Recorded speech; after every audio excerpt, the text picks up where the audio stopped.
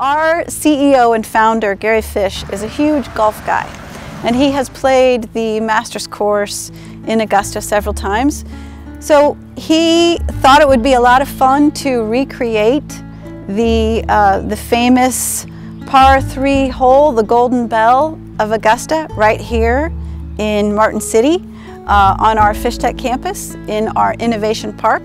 So that's where we are currently. It's an eight acre park and we have got the one hole golf course where we do indeed have a lot of fun.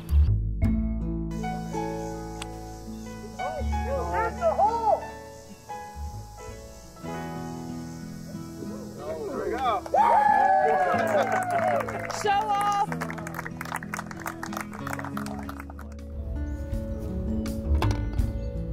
I wanted some outdoor space where people could get out and unwind and get away from their desks and, and so really like Augusta National.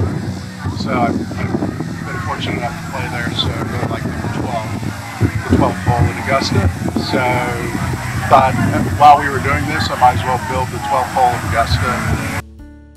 We've got folks that come out uh, throughout the day and take a break out here and have a lot of fun.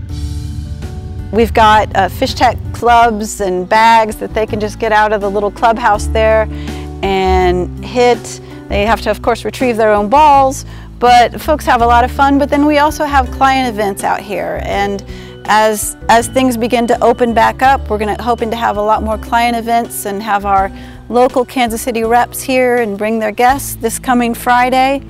We're going to have some folks here to uh, watch the Masters and also, you know, take some swings here themselves.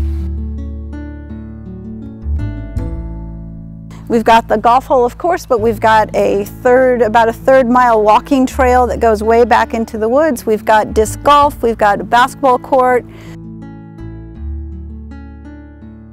and we have 15, I believe, exercise stations that are back behind the course that we can do on our lunch hour or anytime we need to take a break.